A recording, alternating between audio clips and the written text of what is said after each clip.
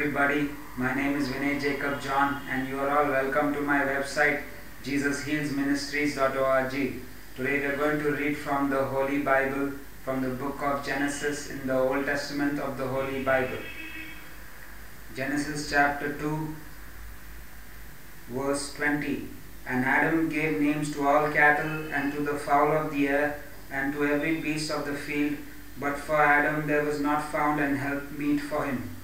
And the Lord God Jehovah Jireh caused a deep sleep to fall upon Adam, and Adam slept. And our Lord God Jehovah Jireh took one of Adam's ribs and closed up the flesh instead thereof.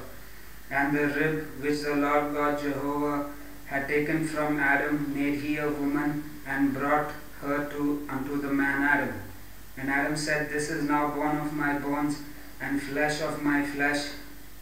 She shall be called woman because she was taken out of man. Therefore shall a man leave his father and his mother, and they and shall cleave unto his wife, and they two shall be one flesh. Let us also go to Jeremiah chapter 3, verse 14.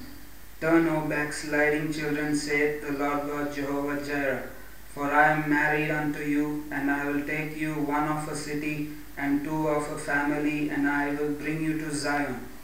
And I will give you pastors according to mine heart, which shall feed you the word of God with knowledge and understanding. Let us also go to Hebrews chapter 13,